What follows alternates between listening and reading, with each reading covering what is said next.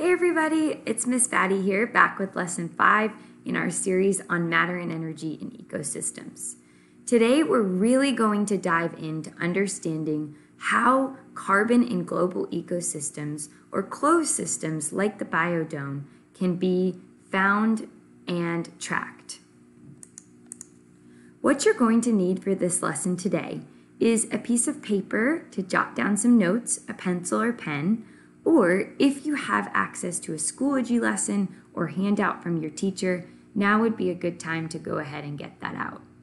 Something that's always recommended, if possible, is for you to find a family member or a friend to message or text over the next 20 to 25 minutes so that you can share ideas and ask questions. And it's just more fun to learn with someone else.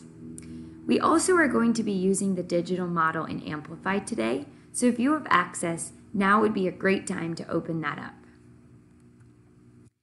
In our last lesson, we figured out some really important things about what can be happening in the biodome. Let's hear from Dr. Corey about your responses. Great work, student ecologists. The econauts have not realized that a change in the population of decomposers could have had such a dramatic effect on other organisms in the biodome. Remember that we saw in the graph that the amount of decomposers was really decreasing around year three. Before they plan their next biodome, they have one more question.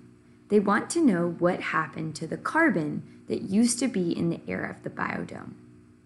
We know that the decrease in the decomposer population caused the carbon dioxide in the air of the biodome to decrease. But the econauts need to know what happened to all that carbon. This is your last mission for the Biodome investigation team, so we're hoping you give it your best. So, if we recall, we know that the decomposers were decreasing. If we take a look at this orange line, um, around the first three years that the biodome was existing. We know that the decomposers are a really important part for producing that carbon dioxide, right? Just like the producers and the consumers, they do this process of cellular respiration to release that carbon dioxide that is so important for the producers to do photosynthesis. Now, it's very clear that the decomposers decreasing did in fact have an effect on the amount of carbon dioxide that was produced. And so we are wondering where is all of that carbon? if it's not being changed into carbon dioxide through cellular respiration, where are all those atoms? Today, we are really going to dive into that question. And to do this, we are going to start off by thinking about this question of what happened to the carbon that used to be in the air? Where is it in the biodome?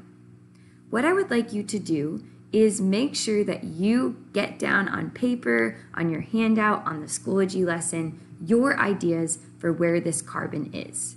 Is it disappeared or destroyed? Has it been used up? Or is it somewhere else in the biodome? What are you thinking at this moment?